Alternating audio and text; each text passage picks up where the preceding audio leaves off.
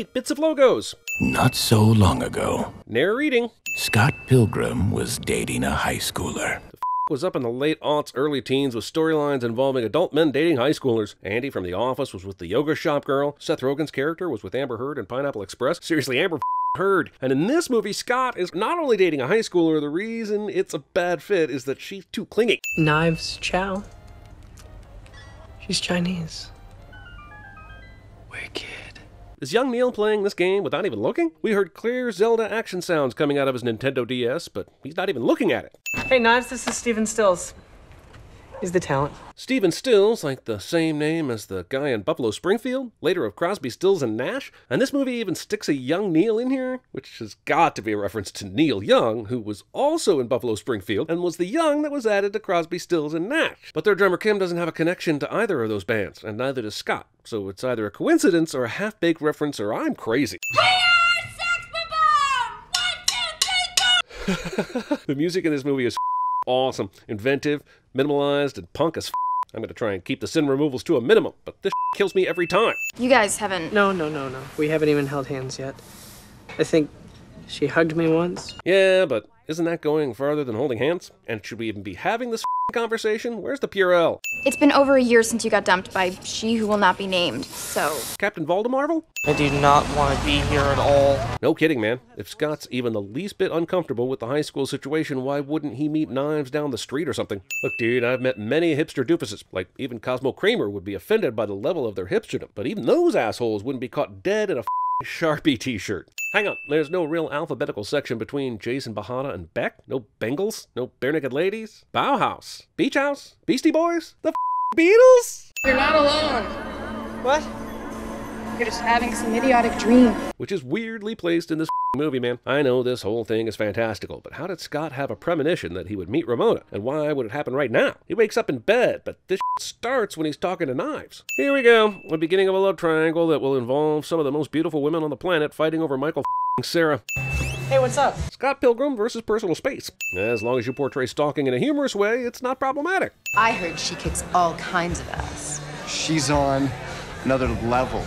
She has men dying at her feet. How the does everybody know about Ramona, even though she just moved here and is repeatedly shown by herself at this party? I don't want you scaring off the coolest girl at my party, Scott. You mean the girl who's already left the party? And why is Julie so dead set against Scott hitting on Ramona anyway? She's definitely not the coolest girl at the party because she was standing by herself talking to nobody. You're thinking of juggling two chicks. One of the conflicts of this movie is Scott dating Knives and Ramona at the same time, ever so briefly. But he doesn't even know Ramona wants to go out with him yet. Can he figure that out first before dumping Knives? And yes, he does end up technically cheating, but juggling two chicks is a stretch. You of all people should know how sucky it is to get cheated on. Don't you have a job to do? I guess, but one of those hours like it's clearly late since Scott's home from the party and Wallace is drunk from the night out. But we also saw Stacy calling during the previous day. So is she permanently installed there? I have to order something really cool. I guess Ramona is the only person in Toronto who delivers for Amazon. Dude, this thing claims I have mail. It's amazing what we can do with computers these days. Dude, now I'm reading it. If this is the first email Scott has ever read, how does he even have an email address? How would anyone know what address to send it to? Dear Mr. Pilgrim, it has come to my attention that we will be fighting soon. I know this is a fantasy world, but how does this guy know they're going to fight when Scott hasn't even asked Ramona out yet? Mega Ninja. I can never get past that guy. Don't beat yourself up about it. Unshadowing. Also, why is Scott playing the final dude if it was him that screwed up the two player game? Shouldn't Knives be playing this asshole? Is there a prize or something? Only a record deal with G-Man Graves. Who's that? You don't know? Sure, the guy that scours record stores and is totally versed in the minutiae of indie rock has no clue who super producer Gideon is. I like this movie a lot, but there's a ton of unnecessary exposition at the expense of character traits. The movie takes its video game theme way too far by including a pee bar into the festivities, and this pee takes three seconds. Scott, get that prostate check, man. Also, there are a lot more pee references in this movie than you remember. Trust me, there's so much pee in this movie it should book a room at a Russian hotel. Do you want to hang out sometime? Get to know each other? If I say yes, will you sign for your damn package? Ramona doesn't seem to have any interest in Scott. In fact, he's done everything wrong trying to ask her out. But because of some cosmic comic book weirdness, she accepts. It doesn't even seem to be in her control. Is it possible Gideon is controlling her with the microchip even here? Also, that's another thing. We never know how long that chip is in Ramona's head. Is this why she left New York to go to Toronto? Does the chip have some sort of range issue? Of course, then you have to wonder how all those evil exes started fighting for Gideon. Do they have chips too? If they do, they seem to be perfectly controllable, so why not Ramona? Why would Gideon bother with this if he has a perfect mind control device? What do you do? Oh, I'm in between jobs at the moment. Yeah, what the does Scott do? We see him kicking absolute ass in a few minutes, but he's been a slacker loser pretty much the whole movie leading up to this. So I have to ask why we're rooting for this arguable butthole. Dude, I'm changing. She was right to expect privacy, but damn, close the door. And wait, she's kind of into it? This relationship is confusing. I love these X's that show up throughout the movie. Edgar Wright is awesome at these details, and I love this. Oh, hey, it's tonight at the. Ro- He's got such a finely tuned sense for pacing and telling a story in an amusing fashion, and to think they wouldn't let this guy do Ant Man in the way he wanted. Anyway, removing a sin. This next band is from Toronto. Discount Canadian Ben Folds. I love this scene so much. This is just the band playing at the Battle of the Bands, but Edgar Wright once again sticks in these great details. Kim was upset that the previous band had a girl drummer, and now she's on stage giving a look to her right, and there's the other band's girl drummer giving her the stare of death. Such a funny cutaway, and one of the reasons why this movie is so enjoyable. Mr. Pilgrim! Why'd Patel choose this point to confront Scott? He could have waited until the end of the song or jumped in before they started and had the same effect. But I was so vibing out to garbage truck, so this guy. But haven't they already been fighting? Did Scott's 64 hit combo not count? Why does this pop up on screen now? It was football season, and for some reason, all the little jocks wanted me. Matthew was the only non white, non jock boy in town. Why did he have to be non white? And seriously, he was the only one? So everybody was either white or a jock or both except this guy? Did you go to school at Dick's Sporting Goods? So the two of us joined forces, and we took them all down. For what? For wanting you? There seemed to be more than a few holes in this story. If you want to fight me. What? Oh, this movie is sinning itself, guys. It's become sentient. Run! Did Matthew seriously just kill that entire band? I don't care that this movie is pretty fantastical and he literally just killed that band. Wallace, again? Choosing anyone except Anna Kendrick. If we're gonna date, you may have to defeat my seven evil exes. How does she inherently know this unless everybody she dates has to fight her evil exes? Does that mean we can make out? Sure. Cool. You weird piped in crowd noise. This moment is not all worthy. She basically resigned herself to kissing this asshole, and they continue to have zero chemistry together. He was just pretty good skater. No, he's just pretty good actor. He's filming a Winifred Haley movie in Toronto right now. Kind of amazing that the New York based Ramona has so many evil exes in Toronto right now. Sure, Gideon is the mastermind behind Scott fighting the evil exes, but how does he control what movies get shot where? Like, probably the only famous person not in Toronto, ironically enough, is Drake. Listen, I was thinking we should break up or whatever.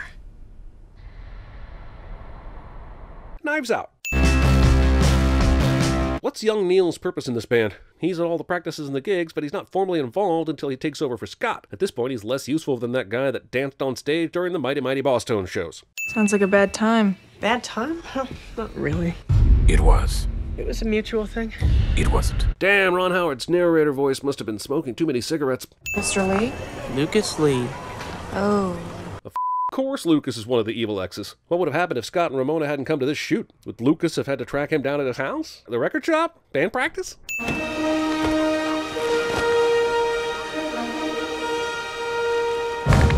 Comcast. What's up? How's life? Sure, it's possible Ramona is already wearing the G chip that attaches her to Gideon, but does that affect her ability to do jack when the other exes kick Scott's ass? She doesn't say one word or look concerned or anything. Sometimes I let him do the wide shots when I feel like getting blazed back in my Winnie. Chris Evans has been awesome for longer than you realized, hasn't he?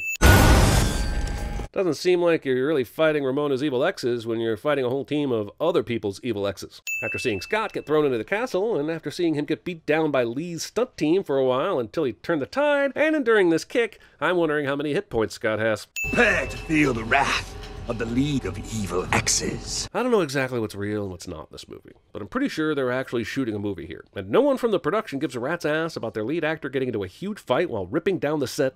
Well, I'm really, really not up for this, whatever it is. Okay, little chicken. I'll see you later. He can do this? Like, couldn't he just continue to date Ramona and defer the battles indefinitely? What did you do with my sister? Scott came in here to talk to his sister, and she's just outside, but then decides to order a coffee. I don't know why he doesn't just run out of the coffee shop to talk to her. So I can just get my coffee over here? Wait, Ramona's been there the whole time? How did he not notice her the whole time he's been here?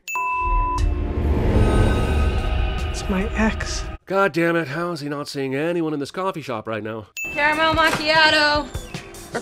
Or Pilgrim. This bit with Aubrey Plaza is hilarious, but did she really just call him Pilgrim? Seemed like this character would be a little more creative with her pejoratives. I have to assume Wallace is both of these dudes in bed with him, so is Scott just hanging out in the same bed while everyone else is banging each other? Oh God, I look so good. Yes, you do, and I wish your character had anything else to do other than pine over the douchey douche that douche all over you. The guy on bass? Oh, yeah? First off, why didn't Ramona give any indication that Todd would be there tonight? I know Scott has to fight him and but is she not allowed to say anything? Second, why are they even still there? Scott didn't even want to play the show, but now that they did, they're sticking around for his ex's headlining act? I'm not going to play the music here for fear of Brie Larson and the original band who did this, Metric, jumping out of my TV with a bunch of copyright lawyers, but this song rules. The writing, the performance, the Breeness, all deserving of a send-off. Envy Adams would like you all to come backstage. What's Envy's thing here? She dumped Scott, but it was apparently because she moved out of town, then met Todd. She certainly wasn't billed as a vindictive asshole, like she's acting here. I know all this is to set up the fight between Scott and Todd, but I cannot figure out what's up with Envy acting like this as soon as she arrived in Toronto. All of us? Did I stutter? Why is the trademark of Aubrey Plaza's character to say bleep words when she didn't do any of that at her party or the record shop when we first met her? Hey, Ramona. Holy Captain Marvel and Superman are in this band? Jesus. They probably get in a lot of boring fights with other bands because they're too powerful with almost no weaknesses. I've kissed the lips that kissed you! Whoa, I thought the whole relationship was super chaste, so that the movie could hedge its bet on the likability of the protagonist. But if they made out, what else did Scott and Knives do? And should I be backing away slowly from this movie now? Fun. In Toronto. That's it! You cocky cock! God damn, I love this line so much. I'd almost take a cent off for it if the movie didn't just yada yada the out of a grown man punching a teenage girl in the face a few seconds ago. You know, these leftover plastic cups on the floor are hilarious, but nearly everybody who was enjoying the show was holding up glass bottles, and basically only one plastic cup is visible during the Clash at Demonhead set. It's only my first offense, so don't I get three strikes? Why would you get three strikes for straying away from your vegan diet? And why wouldn't you get warned about your offenses before the third strike? This is basically Superman's kryptonite, isn't it? Also, the other two offenses were times where Todd knowingly ingested non vegan stuff, or at least didn't research it carefully enough. Here, he was tricked. How does that even count? On April 4th, 7.30 p.m., you partook a plate of chicken parmesan. A guy who's vegan, who stupidly eats chicken parmesan, has been eating way more non vegan things than this. You once were a vegan, but now you will be gone. Look, even someone like me that loves this line realizes how dumb it is. Let's face it, the only reason why Ramona gets to beat Roxy's ass, and it counts in this weird little game, is that the movie didn't want to show Scott beating Roxy up and still try and call him a hero. She was ready to fight earlier, but Scott just said he didn't want to, and apparently that was enough to get him off the hook. Oh, sure, they addressed this later in the fight, but is this really a fight between Scott and Roxy? I don't think so. You know that near one-shot fight between Scott and Lucas's henchman a few minutes ago? Well, this sequence is so hyper-edited it feels like it's from a completely different movie. Scott wins this fight by orgasming this woman to death. Is there anyone at this party that you haven't slept with? Yeah, he's a jealous boyfriend and all, but this mean comment comes out of nowhere, really. It's not like they've been at this party and they keep running into a bunch of her exes. They ran into one ex, and suddenly he's like, You everybody, haven't you? Katayanagi twins just happened to be the next band in the battle. Again, I'm not sure how the American Ramona has so many exes wandering around in Toronto doing regular work things, but Gideon must be the most genius mastermind ever to get everyone in town at the same time. Jason Schwartzman plays a smarmy butthole in a movie cliche. Does Gideon want them to finish Scott or to do it himself? It's almost like he set the League of X's up to fail by incrementally increasing the powers of the opponents, right? What would have happened if Matthew Patel had fried Scott way back at the beginning? Would the rest of the league even have been in Toronto? We are Sex Bob, and we're here to make you think about death and get sad and stuff! I'm sorry. I can't help myself from taking another sin off. This is one of the most unique movies I've ever seen. So look, in the last fight, they actually addressed that Scott needed to use his own fist to beat Roxy. This battle requires his whole band, and they're fighting against CGI creatures created by their music. The bands are completely different, too. One is a garage band, and the other is a twin set of keyboard players. I don't know how you out-rock each other this way, or why it counts. It's completely weird and wonderful to watch, but it's sinful as Also, this fight is conceptually badass, but just like Godzilla King of the Monsters, we keep cutting back to the goddamn humans instead of watching a full take of the monsters actually beating on each other. And I apologize to this movie for comparing it to Godzilla King of the Monsters, but it had to be done. What are you doing?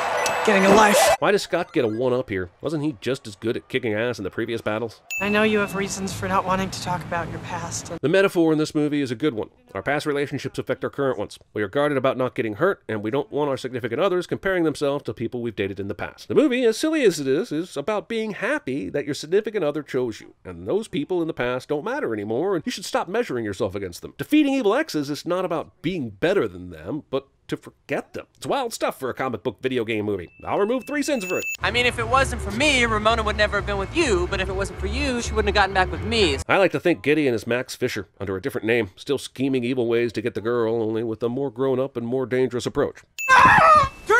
Turn off the light! Given how many partners Wallace brings in, how has this not happened many times before? Presumably, you just saw some guy's junk. Uh, no. Looked like everything was under the covers there. Besides, seeing some junk ain't the worst thing that could happen to anybody. Just ask that show Euphoria. Scott Earn, The Power of Love. I think this is all very cool, but could you imagine actually playing this video game? What are the rules, man? I'll assume Knives was here for the show, but why the would she be armed to the teeth? I'm not talking to you. I'm talking to her. Okay, if that's the case, why did you very specifically attack Gideon? Not like Ramona was anywhere near you. You broke the heart that broke mine. Sounds inconsequential. I know almost all this is done with stunt work, and bravo to that crew. But the way Edgar Wright stages this fight at the end makes it so believable and kinetic and exciting, even in a fantastical framework. Damn it, I'm gonna give a sin back again, but I swear to God, it's the last one. But you can't cheat death. Gideon, you know this is a video game, right? You know Scott was gifted a life after he beat the keyboard twins. It was only slightly less bull than when Simon Pegg threw Wade that magic quarter in Ready Player One. Truth is, it was me who was obsessed. Scott only gets this information after he dies, but how does that work? Did Ramona make a special trip to the afterlife to fill him in on the background information between she and Gideon? This is as absurd as the naked Native American dude giving the message to Jim Morrison in the doors. Second password. I understand Gideon is a dick, but are all of his underlings evil too? Like, is Scott just straight up murdering right now, or are these NPCs? Since the comic book is better than the movie. Oh well. The first time Scott went through here, this guy was saying the first album is better than the first album, which I guess was a joke on hipster dumbasses. But the setup is exactly the same as the last time, only Scott beat up the password guards instead of giving them the passwords. So how did the conversation change? Oh, I guess with Gideon on the ground, she decided to attack the right person this time. Are we done with the hugging and learning? Sure, sure, it's a video game and all, but if you are going to show me Gideon dying, complete with the score and then you don't get to bring him back. I know he didn't turn into coins, but why the 7,000 point score if he's not dead? He doesn't even come back as a Sephiroth. I feel robbed. Now this game is just making it up as it goes along. You made me swallow my gum. It's gonna be in my digestive tract for seven years! Gideon's most evil contribution to the film is spreading this well-known myth. I have noted how good the choreography is in this last sequence, but as soon as Gideon pulls out that over-pixelated sword, watching this turns into an instant migraine. Man, here's yet another beatdown of a toxic male character in which Death Proof's Mary Elizabeth Winstead doesn't get to participate. You know how long it took to get all the Evil X's contact information so I could form this stupid league?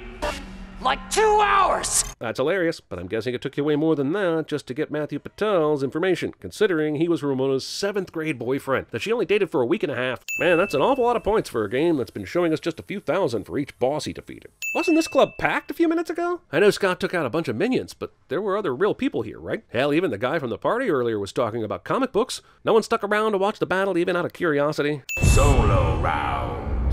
I make this incredible French toast with like bananas on it, you get bacon on the side. I'm liking that. You should probably get it cut. Boy, Scott sure did get off the hook for the whole cheating scandal he admitted to both women just a few minutes ago, didn't he? Thought maybe we could try again. I swear to God, this movie has more endings than Avengers Endgame. I don't know what you're talking about. You're gonna learn how to talk right, understand? We got ways of making you pronounce the letter O. I feeling that's for you, guy. I'm not your guy, buddy. He's not your buddy, friend. I'm not your friend, guy. Okay, enough! I was sitting right there the whole time. Yeah, way to plant, Ann. You once were a vegan, but now you will be gone. And when you're gone, you stay gone. Or you be gone. Between you and I, the whole League of Evil Exes thing, I was in a really dark place when I put that together. I was gonna try and have that tree over there fall on you. That is evil. Like it's the fruits of the devil. What happens if the engine stops? We all freeze and die. Oh, no, uh, correction. It is not a good morning from my POV because you're here and I hate you. What do you mean you don't drink? I distinctly remember you being very drunk on a couple of G